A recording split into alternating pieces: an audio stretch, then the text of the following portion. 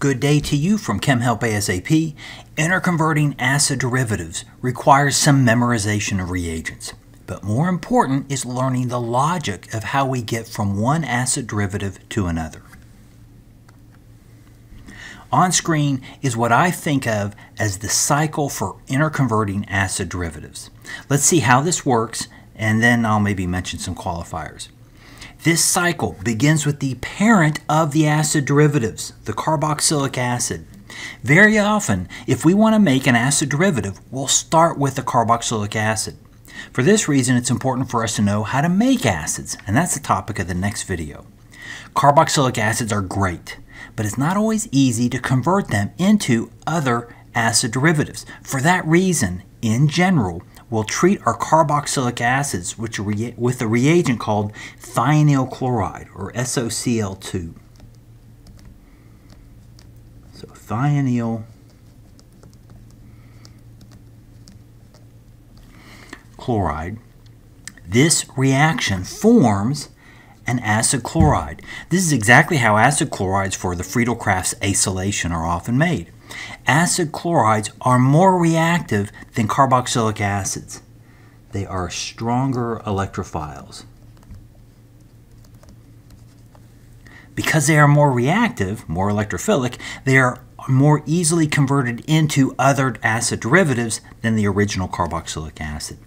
From the acid chloride, we can directly access most of the other acid derivatives in just one step. That includes esters, and amides. So again, this is one step. In these conversions, we are overall replacing the chloride with a new group. So all the reactions of acid chlorides are nucleophilic substitutions.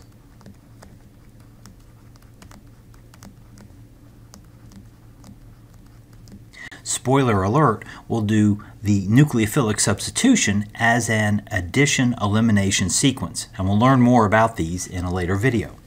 Great, we've made new acid derivatives, but how do we complete the circle and get back to the original carboxylic acid? As it turns out, all acid derivatives can be treated with acid and water, say sulfuric acid and H2O, maybe with some heat and converted into the parent carboxylic acid. This is a hydrolysis.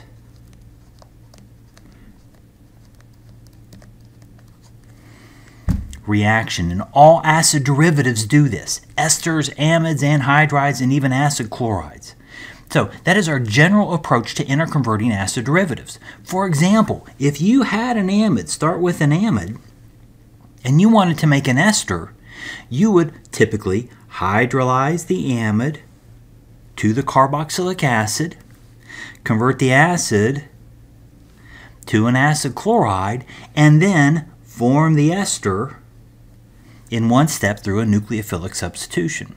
So we'll need to be comfortable with this cycle of acid derivatives and we'll use it a lot in order to make and interconvert different carboxylic acid derivatives.